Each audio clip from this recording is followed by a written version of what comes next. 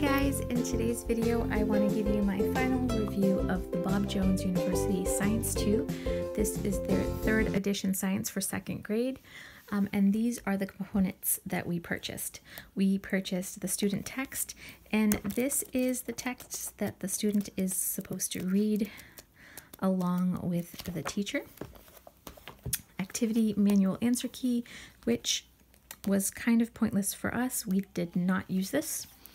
The activity manual worksheets, um, we used all of them, so very important. And then the teacher's um, edition. I really like the teacher's edition. Um, I did not find any use for the CD.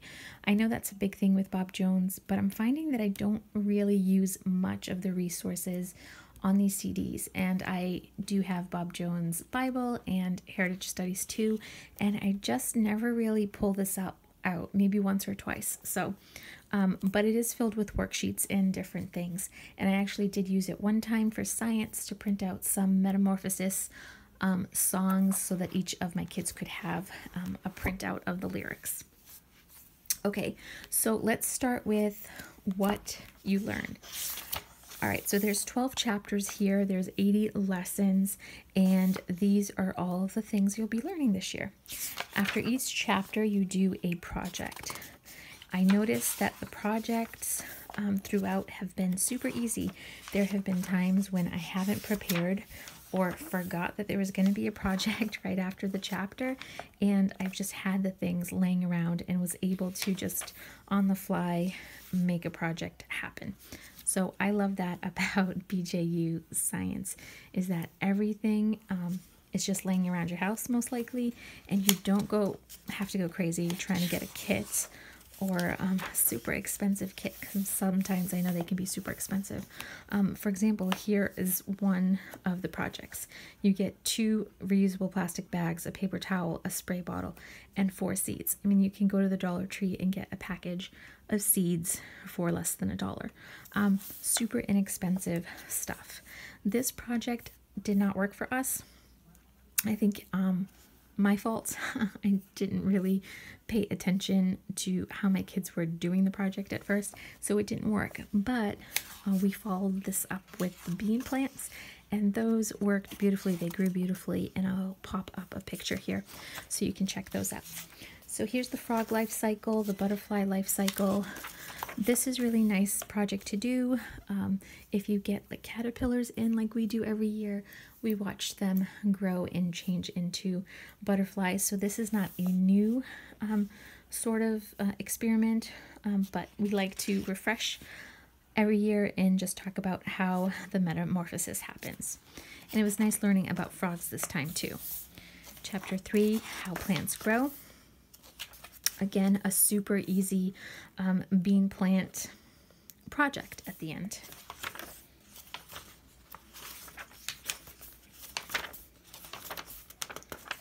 Where Things Live. This was the chapter on habitats. And we learned about different environments. And they made a habitat at the end. Again, the habitat had about, I want to say five um, so a book, a resource book about habitats, a shoebox, craft supply, and the activity manual, which is the worksheets um, for like writing down your observations. Super simple. Chapter five was fossils. We learned about evolution, um, fossils, how fossils form. Um, we did a cool project with maple syrup and how things got fossilized in um, in amber, just kind of looking at how that could have happened. That was fun. Dinosaurs. Um, the project at the end of this one was a bag of bones. They love doing this. You basically use pasta and they form their own um, skeleton model of a dinosaur. We used the pasta and we uh, pressed our molds into Play-Doh. The kids really liked doing that. What makes up the earth? We learned about the layers of the earth. Um, different types of um, drilling and earthquakes, volcanoes, and things that happen inside the earth, and how scientists measure what's happening. And we did a model of um, the layers of the earth. And we just used Play Doh and um, a piece of thread activity manual, simple stuff, really easy to do. Chapter 7 was natural resources. We loved this chapter because we made some paper. Um, the kids loved this project. Um, this was super easy as well. You have newspaper, water, um, metric cups, so just measuring cups, a bowl, a potato masher, a large dish pan, a wire screen, which I did not have, and I ended up using um, a baking rack, worked fine, um, and a dish towel. So we basically made um, new paper out of mush, which we turned newspaper into mush, and then they just reconstructed it into um, paper. And I'll try to pop up a picture here as well. How the Earth Moves is chapter 8. We talked about sunrises and sunsets, um, how the Earth rotates, and then there's a little project with um, just some Play-Doh and a flashlight. Talked about seasons as well. All right, then chapter nine is how light works. Again, a super simple project at the end where you're just using um, some really basic um, stuff that you have in your house. Um, some chalk and measuring stick. We actually watched an episode of Curious George where the kids did this, and uh, we have done this before, but it was fun to kind of redo this project. Chapter 10 How Matter Changes.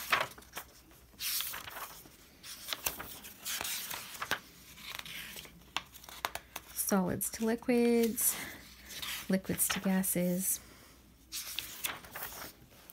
Five cups, um, foil cups, chocolate chips, crayon, ice cube, margarine, another solid to test activity manual. This is probably one of the longer lists, but again, things that you probably have at home.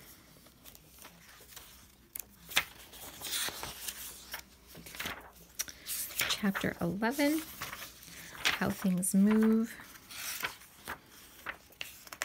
motion, friction, gravity. So, this project is just, um, we haven't gotten to this yet. We have a couple of um, chapters left. Um, so, plastic button, eraser, nail, um, metal paperclip, penny, staples, etc purpose is to see which items a magnet attracts. Super simple. We have magnet and we have a lot of things that we can just put in there. And if you don't have these, you can just use plastic things and metal things. It doesn't have to be exactly what they suggest. And you can still do the, process, um, the process and um, predicting and observing.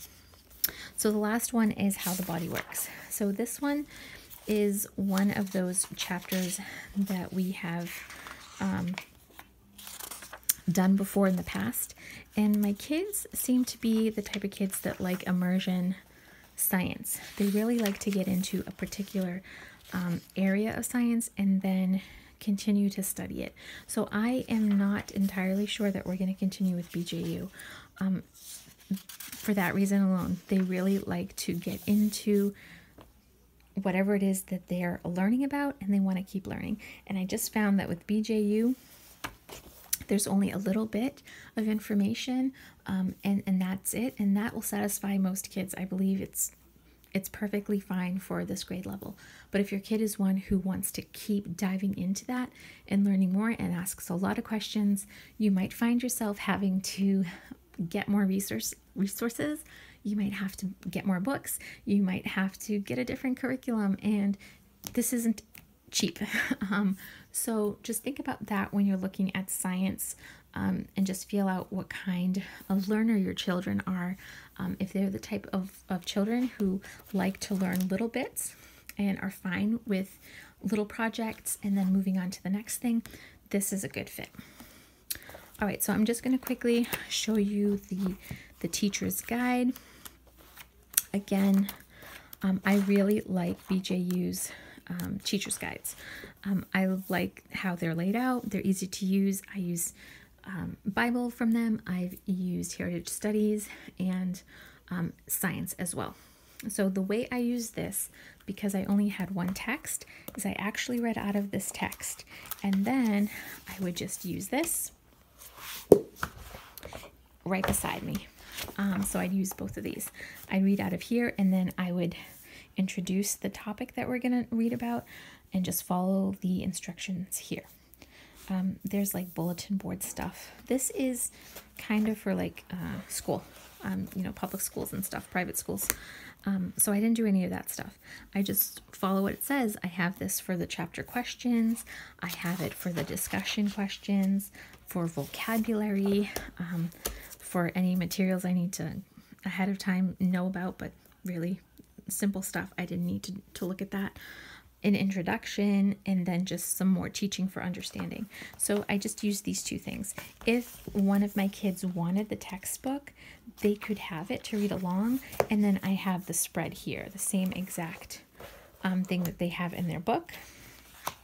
Um, I have in mine. And the pages match up. So between these two things um, and the activity manual, I think that's all you need to teach BJU science.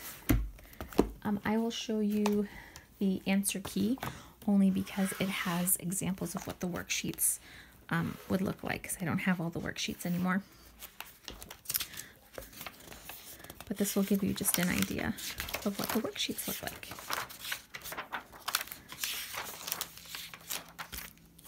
So these are all the um, observation sheets.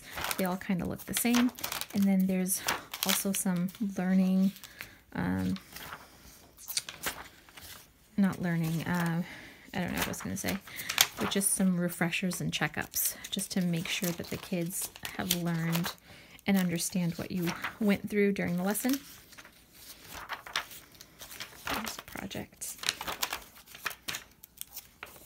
So you get the idea. There's some word problem, not word problems, um, it's late, guys. I don't even know what I'm saying. Um, check up pages. There's some crosswords. Um, that's what I meant to say. Crossword puzzles. There you go. So you get the idea. Um, and that is it. Okay, you guys, um, so that is BJU Science 2. Again, really good. Um, but to be honest, we won't be using this again next year. And just as I go through it now and I'm thinking about it, um, we definitely won't be using this. But I wanted to share it with you because although we have used it and enjoyed it, we won't be using it again. This might be something you find super exciting and looks exactly like what you need for your family. And that's why I do these videos. So thank you guys for tuning in. Um, please like and subscribe if you haven't already done so. And I will talk to you in the next video.